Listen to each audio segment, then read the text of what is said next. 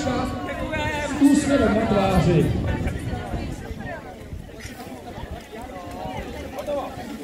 Dvacátého šestého září 2020 protršená sobota, ale přesto radost. Radost z pohybu, tak to být.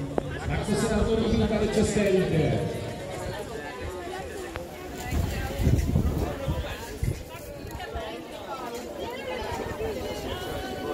A ještě se nám blíží další účastníci rodinného běhu Českou lípou na jeden kilometr.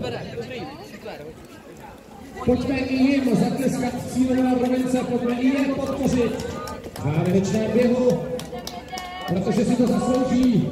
Zvládli parádní závod a poslední metry jim zbývají do cíle.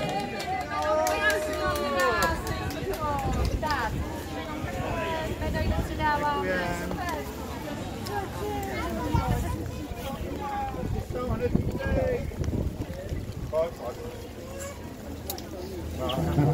se, ještě stále na trati máme některé z účastníků a možná, že už by to mělo být ještě jeden, ještě jeden pár.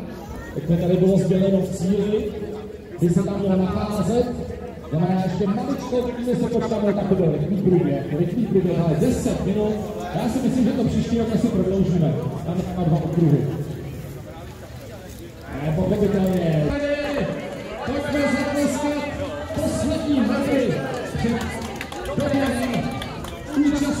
Se.